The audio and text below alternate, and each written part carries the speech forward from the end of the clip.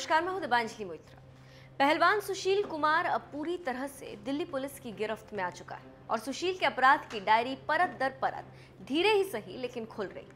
और एक समाज का सुशील बेटा, जिसकी कारस्तानी भयंकर जराइम से भरी धीरे धीरे लोगों के सामने आ रही। और ये देखकर सुनकर लोगों की आँखें फटी की फटी रह जा रही।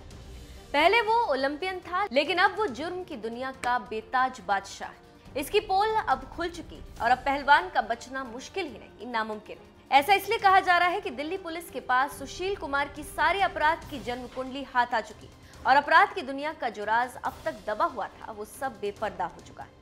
तभी तो अपराध को देखते हुए दिल्ली पुलिस सुशील कुमार पर मकोका लगाने जा रही ये वो मकोका है जो एक शातिर अपराधी पर लगता है। अब ये देश को इज़्ज़त दिलाने वाले एक संगठित अपराधी पर लगेगा। जी हाँ। सागर हत्याकांड में फंसे ओलंपियन सुशील कुमार पर बड़े एक्शन की तैयारी। दिल्ली पुलिस सुशील कुमार पर मकोका लगा सकती।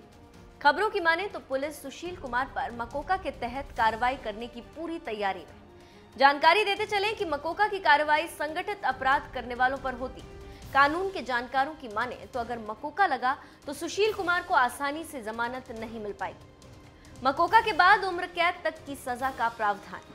दिल्ली पुलिस की स्पेशल सेल ने राजधानी के टॉप गैंगस्टर में शुमार काला जठेड़ी और नीरज बवाना के रिश्तों को लेकर सुशील कुमार की कुंडली खंगालना शुरू कर दिया।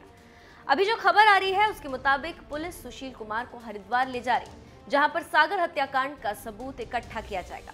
फिर चार्जशीट दायर हो तो आप समझ सकते हैं कि कैसे एक देश की आँखों का तारा बदनाम हो गया और अब सलाखों के पीछे आ चुका है और उसका जुर्म पूरी दुनिया के सामने।